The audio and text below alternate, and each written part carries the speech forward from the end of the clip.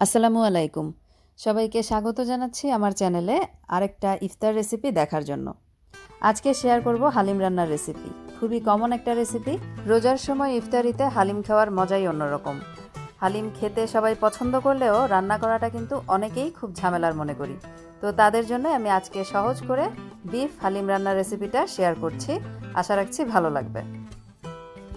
হালিম রান্না করার জন্য এখানে মেজারমেন্ট কাপের এক কাপ পরিমাণ হালিম মিক্স একটা বাটিতে নিয়ে নিলাম। অন্যদিকে প্রায় এক লিটারের মতো পানি গরম হতে চুলাতে বসিয়ে রেখেছি। আর এই হালিম মিক্সটা কিন্তু আমার বাসায় তৈরি করা। কীভাবে তৈরি করতে হবে তার ভিডিও লিঙ্কটা এই ভিডিওর নিচে ডিসক্রিপশন বক্সে দেয়া থাকবে। সেই ফুটন্ত গরম পানিটা সেই হালিম মিক্সের মধ্যে দিয়ে দিলাম। দেওয়ার সাথে সাথে কিন্তু হালিমের মিক্সটা একটু দলা বেঁধে যাবে। তো চামচ দিয়ে সাথে সাথে একটু নেড়ে সেই দলাগুলো ভেঙে দিতে হবে।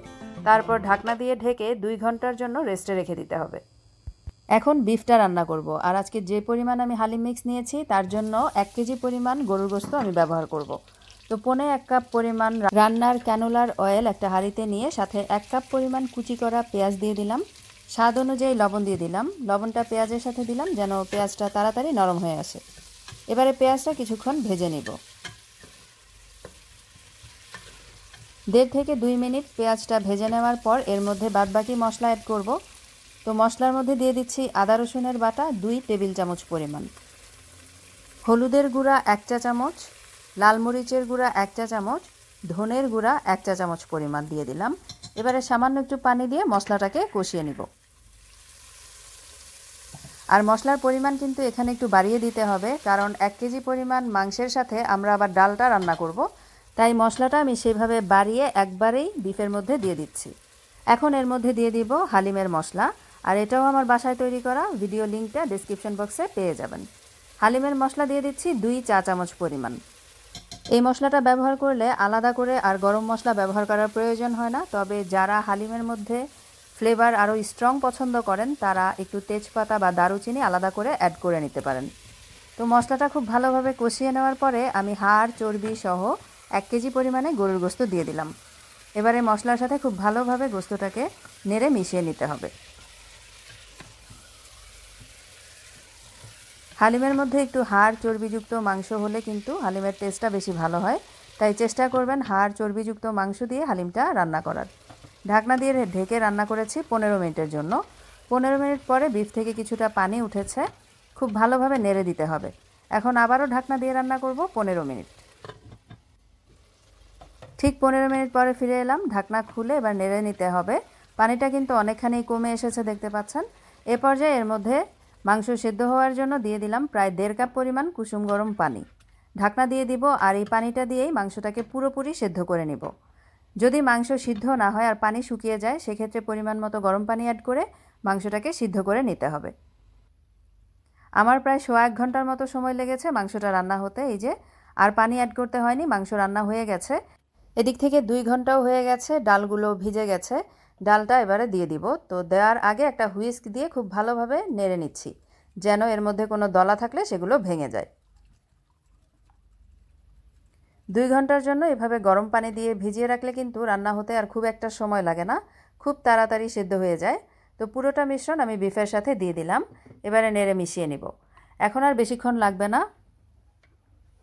প্রায় বিশ থেকে পঁচিশ মিনিটের মধ্যে আমাদের হালিম রান্নাটা কমপ্লিট হয়ে যাবে। এখন এর মধ্যে একটু পানি দিয়ে দিব।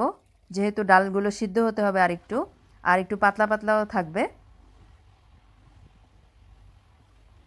তলা থেকে খুব ভালোভাবে নেড়ে দিতে হবে। এখন আমি আরও কিছুটা পানি অ্যাড করে দিলাম।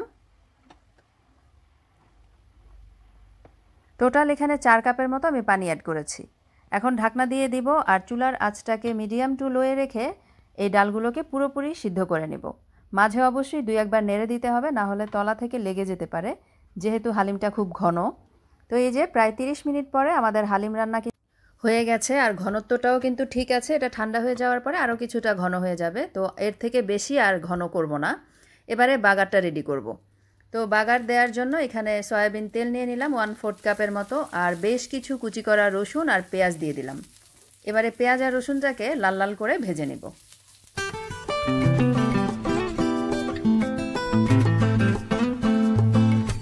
যখন ডিপ ব্রাউন হয়ে যাবে পেঁয়াজ আর রসুনের কালারটা, তখন এই বাগারটা আমরা হালিমের মধ্যে দিয়ে দিব।